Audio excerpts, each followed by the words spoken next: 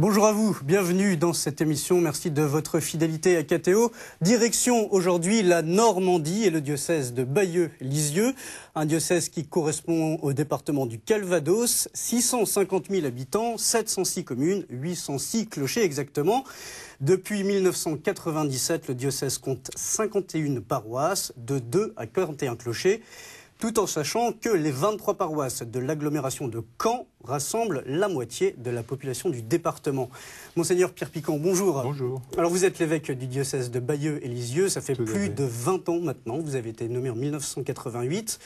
On va commencer euh, notre émission par cet événement qui a été vécu par l'ensemble des diocésains, par l'Église universelle en octobre dernier. C'était le 19 octobre dernier à Lisieux la béatification de Louis et Zélie Martin, les parents de Sainte Thérèse de l'Enfant Jésus. Alors un événement majeur, hein, bien sûr, pour votre diocèse qui a regroupé entre 12 000 et 15 000 fidèles qui venaient du monde entier. C'est la deuxième fois dans l'histoire qu'un couple accède au rang de bienheureux. On, on retourne sur cette journée. C'est un sujet de Sibylle de Lettres. Le diocèse de Bayeux et Lisieux a vécu en octobre dernier un week-end exceptionnel. La béatification de Louis et Zélie Martin, parents de Sainte Thérèse de l'Enfant Jésus. Une grande célébration qui a réuni tout le diocèse, mais aussi des pèlerins du monde entier. Laudate Dominum, oui, louez le Seigneur. Frères et sœurs, nous sommes dans la joie. Une cérémonie empreinte d'émotion Moment très intense, le dévoilement du portrait des époux nouvellement béatifiés.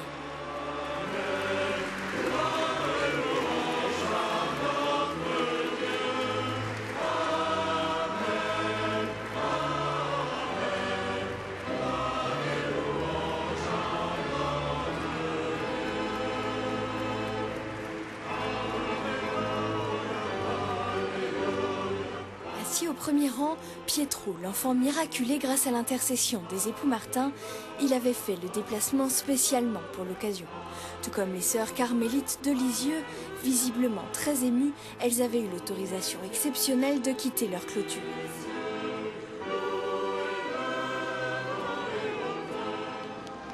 Une fois la messe terminée, les habitants de la région ont présenté un grand spectacle sur la vie des époux Martin à partir des lettres de Zélie. Une représentation sous les yeux des cardinaux Poupard et Martins. Tu n'as pas besoin de t'inquiéter au sujet des enfants. Cette journée riche en émotions a permis à tout un diocèse de se retrouver et de partager dans la joie l'amour de Dieu et la dévotion du couple Martin. Ça fera plaisir, merci. Monseigneur Pierre Piquant, comment expliquer que le témoignage de ses époux, de ses parents, euh, de Sainte Thérèse de l'Enfant Jésus, touche autant de gens aujourd'hui sur le plan universel. Il me semble que ce sont des personnes qui ont d'abord vécu une vie de couple et de famille tout à fait ordinaire et qui ont été confrontées aux grandes questions qui euh, marquent toutes les familles, l'accueil des enfants, l'éducation des enfants, le souci du devenir de chacun, euh, de chacune en l'occurrence, leur, leur, avenir, les problèmes du travail, les problèmes de, de l'écoulement des produits que fournit la petite entreprise familiale, le souci aussi de vivre en cohérence avec sa foi, d'être confronté à la maladie, d'affronter aussi les grandes tribulations d'une vie, d'une vie ordinaire toutes ces questions-là euh, traversent cette vie. Et il me semble que la, la béatification à Lisieux, pour euh, les gens qui ne connaissaient pas bien les parents de Sainte-Thérèse, parce qu'on s'était un petit peu arrêté en, cours de route, en, étant et en demeurant très fixé sur le visage de Thérèse, oubliant un peu les autres membres de la famille, du reste, comme Léonie, qui a été visitantine sur Caen. Vous, eh vous attendiez à autant de monde euh, à cette Pas vraiment. Non, je, on s'était un peu calé dans autour de 8-10 000, puis on a été vraiment littéralement débordé et, vraiment euh, très, très étonné que même des secteurs qui n'avaient pas été, semble-t-il, très familiarisés à la démarche se soient, se soient déplacés euh, plus qu'en curieux, parce qu'on a eu des échos de, gens extrêmement étonnés qui n'avaient jamais participé à ce type de célébration, dire combien ils se retrouvaient appelés à, par exemple, à resserrer les liens familiaux, à s'intéresser davantage aux sujets fragiles et malades de leur famille, et, même certains ont souhaité que sur les yeux désormais, on pense un peu à ces réalités-là de la vie toute, euh, ordinaire qui marquent toute existence. Alors quand, vous parlez de ces personnes, c'est des, personnes qui sont plus ou moins éloignées de l'Église et qui, à l'occasion de cet événement, se sont, se sont, se sont rapprochés, se sont retrouvés, euh, davantage évidemment, car peu invités officiellement sur, euh, sur l'esplanade en quelque manière, mais qui ont manifesté d'abord un étonnement, une joie et, et qui ont découvert un certain nombre d'aspects de ce message évangélique traduit par un couple.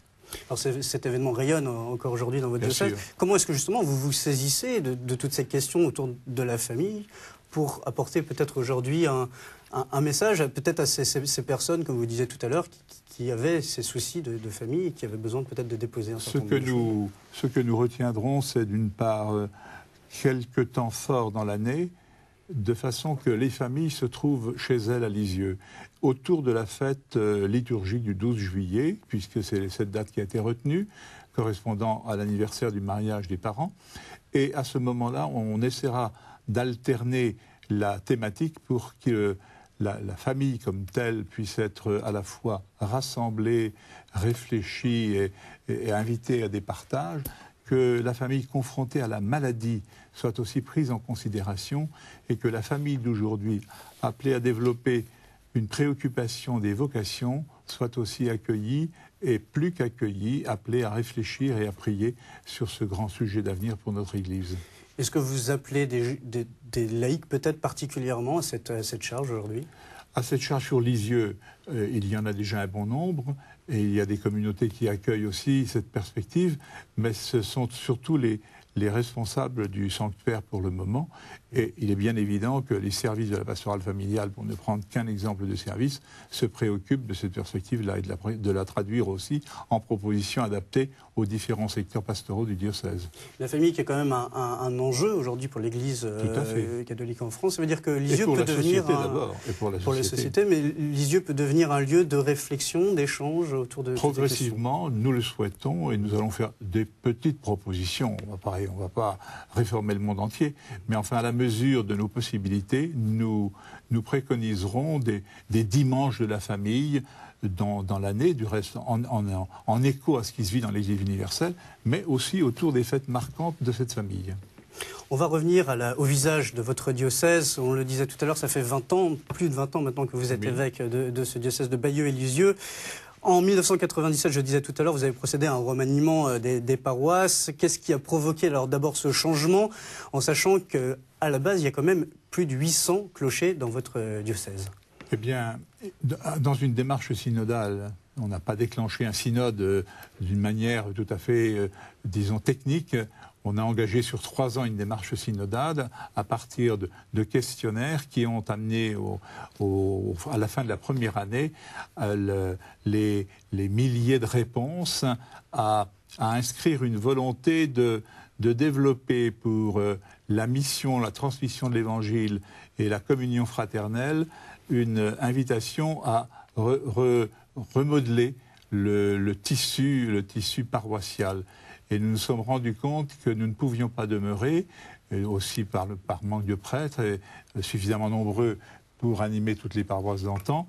Euh, nous, nous sommes euh, accordés à, à travailler autour d'une cinquantaine de paroisses qui pouvaient devenir des pôles de vie, des pôles de vie à partir desquels pourraient euh, se, vivre les grandes notes de la vie ecclésiale, la célébration, la transmission de la foi, la, la solidarité, avec euh, un souci de proximité, de créativité selon, selon les zones. Hein, le, bord de mer euh, et, la, vague touristique de saison pas, ne correspond pas aux régions du bocage profond ou, de la, ou du rural, donc qui a déjà ses traditions et qui les conserve. Nous ne pouvions pas simplement nous en tenir à l'existant et donc nous avons mis en place et autour de ces 51 paroisses, nous avons développé euh, euh, une cinquantaine d'équipes d'animation où se sont trouvés associés les laïcs en très grand nombre autour des prêtres et avec eux. C'est-à-dire que l'Église du Calvados n'échappe pas à la réalité de ces autres diocèses en France. C'est évident.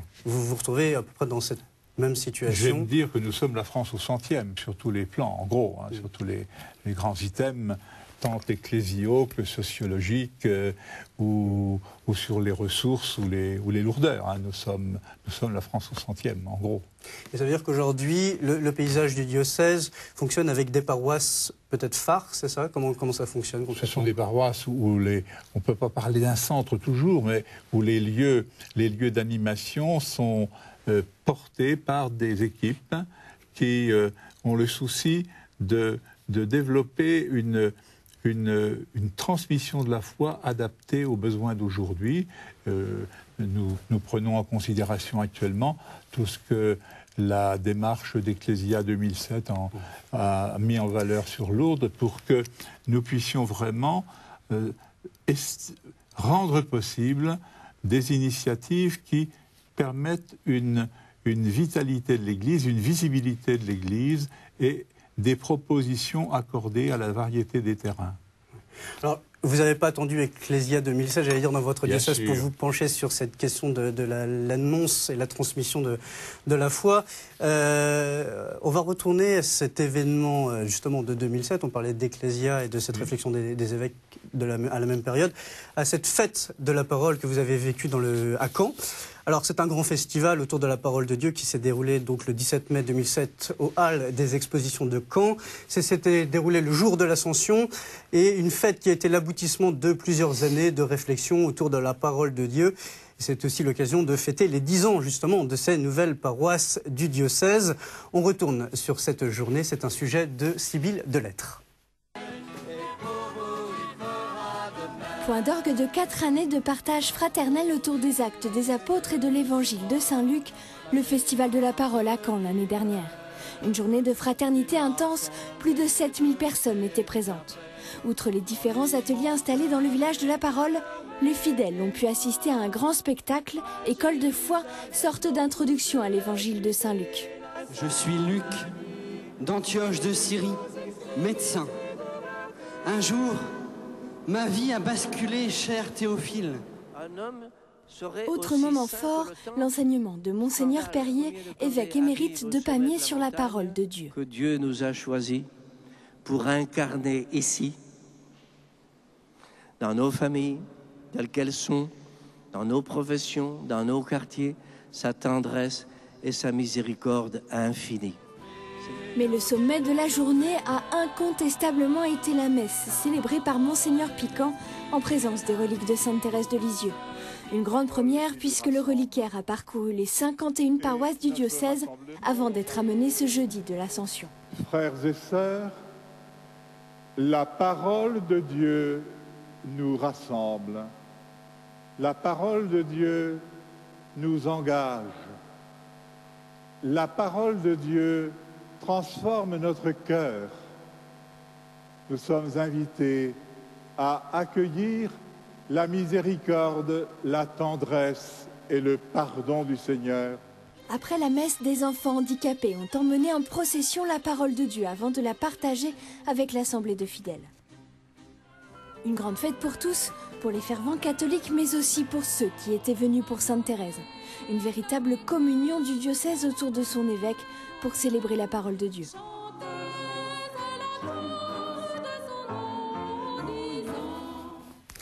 Alors, Monseigneur Piquant, on entendait Monseigneur Perrier. Comment, du coup, l'Église fait-elle pour être au cœur de la réalité du monde en supprimant des paroisses? Parce que dans les différents lieux qui, étaient, qui correspondaient aux anciennes paroisses, il reste encore quelques chrétiens. Et ces quelques chrétiens, sur le terrain, prennent des initiatives, par exemple de partage de la parole, par exemple de célébration autour de la fête patronale du lieu, par exemple participent à, des activités de solidarité locale au moment d'un drame de l'existence, d'un accident ou bien d'un temps fort comme euh, les fêtes communales en grand nombre ou la réhabilitation d'un lieu de mémoire qui intéresse toute la population. Donc les, chrétiens vivent, j'allais dire, en solidarité, très immergés sur le terrain où ils prennent leurs responsabilités, où ils vivent et où ils tissent des liens avec tous. Hein. Et il est assez difficile, du reste, de, rendre compte d'une manière tout à fait exhaustive de cette richesse de relations. Ça veut dire que sans prêtre, il peut y avoir quand même des activités sur une, paroisse ou une église qui est toujours présente dans le village. Tout à fait. Et c'est un effort que nous faisons de former actuellement des centaines de membres de notre église diocésaine pour qu'ils puissent vraiment s'approprier des, éléments importants de, la parole de Dieu notamment, de la vie ecclésiale, pour ensuite la, la transmettre, la traduire et l'incarner sur les terrains où ils vivent au quotidien. alors qu'on on, écoute le pape Benoît XVI et qu'on entend le rôle central du prêtre, comment est-ce qu'on arrive aujourd'hui à expliquer à ces communautés chrétiennes le rôle fondamental du prêtre, mais en même temps la, la, la, réalité de, de vivre sans, sans, sans aussi quoi? Elles sont tout à fait conscientes que personne ne remplace le prêtre. Et si nous pouvions avoir euh, trois prêtres par paroisse, nous serions extrêmement heureux et, comblés. Mais la situation n'est pas celle-là. Et d'une manière tout à fait, j'allais dire, concrète et actuelle, l'important, c'est que, conformément à sa vocation de baptiser, le chrétien puisse investir à la fois sur le terrain familial, sur le terrain social et professionnel et sur le terrain ecclésial. Et c'est cette découverte qui fait son chemin, cette expérience qui prend corps et qui se développe assez heureusement. Une chose aussi liée à ces clochers, ces 800 clochers qui sont, dans votre diocèse, la question et l'enjeu aussi pour vous, c'est de faire en sorte que ces lieux ne soient pas désertés. Euh, pareil, ça rejoint la situation d'un certain nombre de diocèses en France. Quelle est votre réflexion aujourd'hui autour de ces lieux de culte Ne pas les fermer permettre à la population locale de se l'approprier, ce lieu, chacun. Car dans chaque lieu, il y a vraiment des, des, objets, des, une présence, une, une, tradition, une, une, une, manifestation que dès que la porte est ouverte, on est attendu par quelqu'un. Et c'est cette démarche-là que nous voudrions mettre en valeur euh, dans la plupart des paroisses, mais aujourd'hui, pour des raisons de sécurité, elles sont trop souvent fermées ou pas suffisamment ouvertes à longueur de jour, même pendant la saison d'été, malheureusement. Mais l'effort, euh, la prise de conscience et l'effort d'ouverture, avec euh, surtout, le, souci de d'entrer, par exemple, dans les grands temps liturgiques à partir de la prière de l'Église l'Avent, le Carême, les grandes fêtes de l'Église, la Toussaint, l'Assomption. et ces, ces, grands moments de la vie de l'Église sont, sont vraiment célébrés d'une manière très large à partir de la prière dans les églises communales avec euh, un certain succès, une certaine ferveur et un souci aussi d'associer l'habitant du coin à, se réapproprier son église. C'est une immense tâche. Oui, mais vous prenez position parce que vous dites clairement qu'on n'aurait pas intérêt à brader aujourd'hui ah, ces, églises, malgré le fait qu'elles soient plus... Euh, bien sûr qu'elles peuvent, certaines fois, quand les, les maires, surtout les maires nouveaux réunis sur conseil, j'imagine qu'ils, lorsqu'ils ont à envisager la, les travaux importants comme la couverture de leur église, ils s'interrogent par rapport à leur budget, aux urgences. Mais lorsque, plus loin, ils réfléchissent avec les élus de leur équipe, ils s'entendent dire que c'est souvent la seule pièce du patrimoine qui est vraiment, qui est vraiment une consistance qui traverse l'histoire et qui, donne sens aussi au rassemblement des hommes. Et l'Église, à cet égard, demeure un lieu de référence que dans un diocèse comme le nôtre, on n'est pas à la veille de voir brader. Et vous dites aussi que c'est une réflexion que les évêques doivent avoir en commun. Certainement. Cette question, pourquoi On a commencé. On a commencé.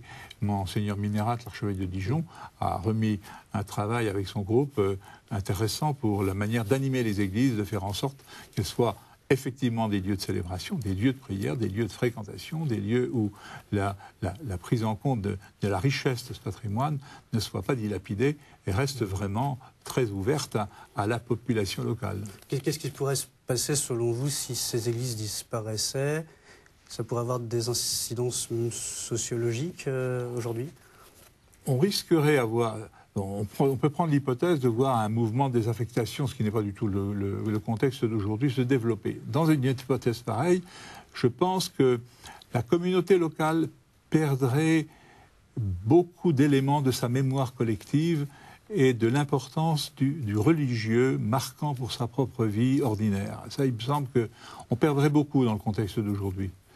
En outre, euh, je pense que positivement, il vaut mieux faire la marche, la démarche inverse et vivre vraiment une appropriation positive de, de, l'Église. J'ai été le témoin euh, par, des, par des travaux d'élèves de, de, regroupement pédagogique de, de classes primaires mhm. qui, avec grâce à la, à la délicatesse, au génie des, des institutrices, de, disons des institutrices laïques, communales, qui, allaient, qui ont passé plus d'une semaine à patrouiller dans l'église pour d'abord entrer dans une église. Les enfants ne sont pas majoritairement catéchisés dans un diocèse comme le nôtre. Eh bien, ils ont découvert euh, les vitraux, ils ont découvert la lumière, ils ont découvert la cloche, ils ont découvert les différents lieux de prière, le tabernacle, les rétables, etc. Et le, les comptes rendus qui m'en a été donné m'a beaucoup impressionné sur le cheminement pédagogique, sur l'appropriation culturelle, sur même les initiatives qui ont suivi de fleurissement d'une statue qui correspondait au saint, euh, au saint patron d'un jeune. Bon, enfin bref, des initiatives auxquelles on n'aurait absolument pas pensé. Donc je trouve que nous ne pouvons pas actuellement euh, consentir trop facilement à dire que cette époque est révolue. Il nous faut, je pense, nous battre pastoralement, et pas simplement les évêques ou les prêtres, mais les, les gens qui sont culturellement informés et chrétiens de conviction, pour que ce lieu demeure un lieu où il fait bon se retrouver en, frères devant le Seigneur, je crois. Alors j'imagine que vous attendez aussi les, laïcs sur ce, sur ce terrain-là. Vous parliez de, de l'animation missionnaire de, de toutes ces communautés chrétiennes euh, d'aujourd'hui et de demain. Alors la catéchèse, pour vous aussi, c'est un enjeu. Euh, on parlait des, parents et des époux Martin euh, comme figure D'autres figures sont présentes dans, votre diocèse, plus contemporaines peut-être. Le père Raymond Pichard, dominicain, qui a fondé l'enseignement catéchétique audiovisuel et créé le CIDAL, le Centre international de documentation audiovisuelle de Lisieux, et qui a fonctionné pendant dix ans. Il est décédé en 1992 et ce fut l'un des pionniers de la télévision française. Vous avez choisi, monseigneur Piquant, de, de présenter cette figure à vos diocésains. Pourquoi?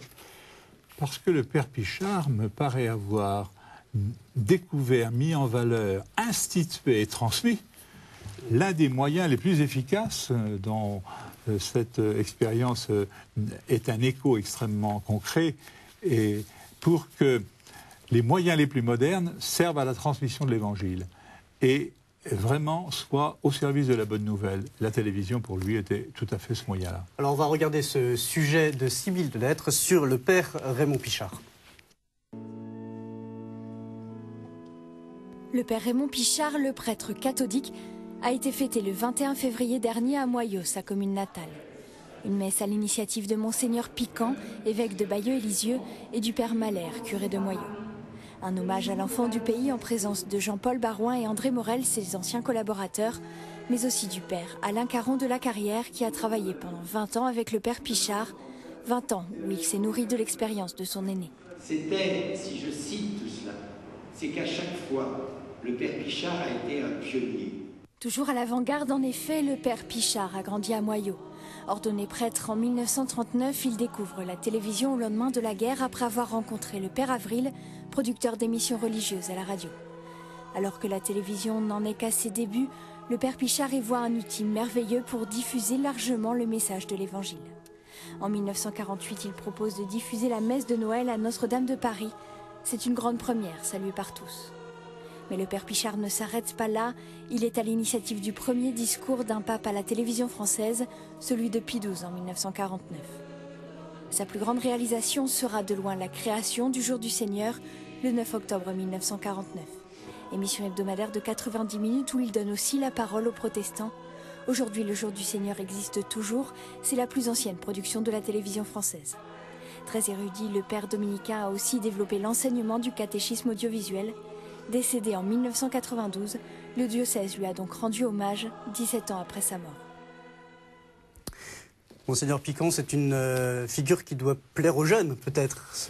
Il est peu connu maintenant, mais j'allais dire qu'il a mis, il a mis les jeunes dans le coup pour, pour transmettre la parole. Par exemple, à l'aide des, diapos qui, euh, en quelque manière, dans la première partie de la célébration, pouvaient illustrer la parole, il a, il a multiplié les opportunités de situer les jeunes des années de catéchisme pour aller interviewer des gens sur l'évangile du dimanche suivant Et les gens qui avaient accepté de répondre, qui même sans être des pratiquants réguliers, venaient au moins écouter ce qu'ils leur, avaient partagé à des enfants sous l'illustration en ouverture de célébration. Il a trouvé des, dire, des, des stratagèmes pédagogiques adaptés qui peuvent très bien entrer dans une liturgie accueillante et tout à fait ecclésialement recevable aujourd'hui, me semble-t-il.